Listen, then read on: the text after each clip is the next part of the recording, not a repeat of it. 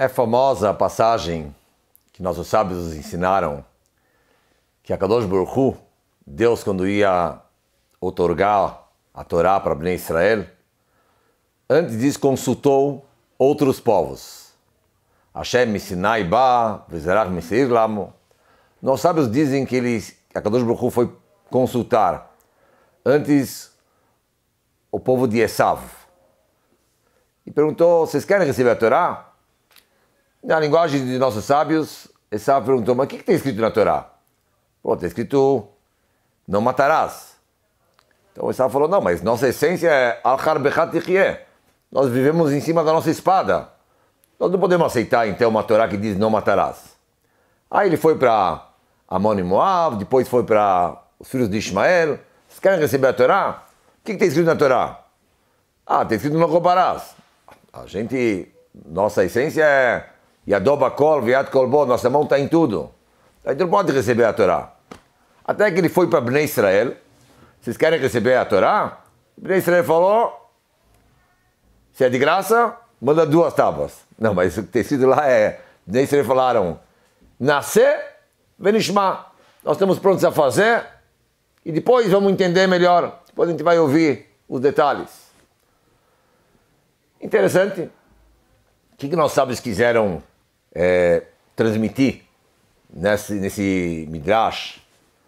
A gente também não tem nenhuma testemunha, nunca ouvimos falar de outros povos que foram consultados. Historicamente, a gente nunca ouviu falar de algum indício de que na história teve uma consulta. O Maral diz que tem aqui uma mensagem profunda.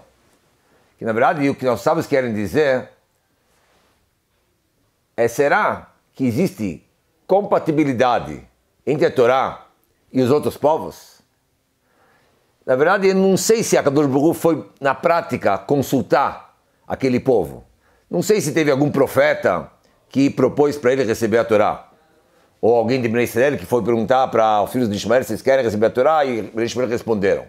O Maral diz que, na verdade, mais profundo essa mensagem quer nos, quer nos ensinar é que se fossem perguntados Bnei Ishmael, eles iam falar, olha, a Torá não combina com, conosco, não, não, não tem jeito, não entra na nossa essência. E Bnei Isav, cada um, na verdade, fez uma pergunta relativa ao passo que define eles. Bnei Isav não podiam receber a Torá porque, na verdade, o passo que define eles é espada, lutar. O passo que define Ismael é querer se apoderar de tudo. Então não combina com não roubarás. Mas Bnei Israel, Am Israel, ele na verdade tem com que a Torá, ela na verdade se veste com uma luva. É alguma coisa natural para Bnei Israel. E aqui a gente pode entender, então aqui uma outra passagem. Está escrito que quando é, Bnei Israel falaram Nascer Nishma, a Kadosh Baruch Hu lá em cima perguntou: Mi Gilá Banai. Quem revelou esse segredo para os meus filhos? Para Bnei Israel. Que o que é essa linguagem, Nascer Nishma, é uma linguagem que os anjos usam ela. Como tem escrito no Passuco, Osei de Varol de Varol. Eles fazem, depois ouvem, ouvem. Ou seja, os anjos, na verdade, a essência deles é a palavra de Deus, é realizar a palavra de Deus. E Am Israel, na sua essência, tem na verdade a Torá. A Torá, na verdade, é a alma de Bnei Israel. E por isso, para Bnei Israel, combina na Sevinishma, combina exatamente a Torá, porque a Torá, na verdade, é a essência mais profunda de Bnei Israel.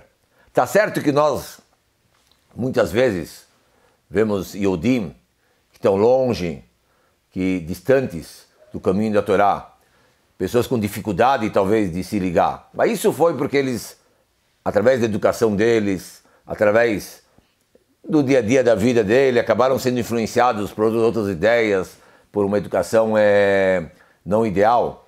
Mas se a gente conseguisse analisar o fundo, fundo do, do Yodi, fundo, fundo do Yodi é nascer venishma.